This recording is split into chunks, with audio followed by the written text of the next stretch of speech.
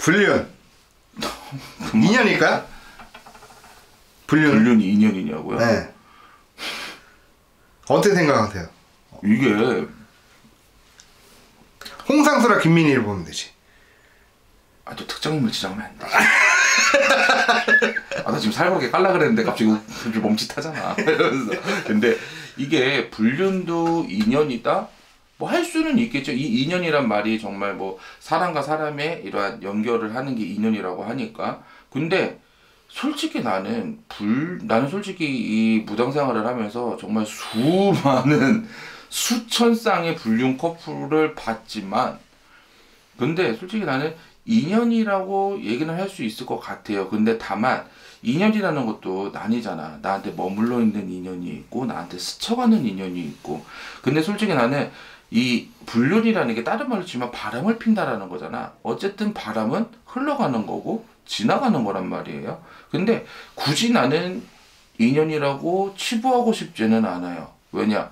내가 정말 뭐 가정이 있고 만남이 있고 뭐가 있고 뭐가 있고 근데 어쨌든 나의 재미를 위해서 나 재밌자고 씨발 거 아, 죄송합니다 나 재밌자고 상대편 속여가며 희롱하면서 개 씨발 아니야 솔직히 나는 불륜은 좀 아름답다고 보기는 힘들어요 그건 내 개인적인 견해예요 근데 아름답지 않고 멋있다?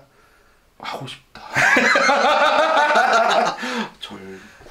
막 이러면서. 근데 솔직히 불륜도 인연이라고 볼 수는 있죠. 근데 흘러 지나가는 인연이고 정말 바람은 바람이다. 그리고 또 하나 굳이 씨 나는 솔직히 좀 이 모지리 같은 분들한테 한마디 하고 싶은 게 뭐냐면은 특히나 씨 유부남 만나는 젊은 처녀들 똑똑히 새겨들어. 너 씨발 그거 이용당하는겨. 정신 좀 차려 제발. 나 이거 제 우스갯소리가 아니라 한 번 그런 적이 있었어요.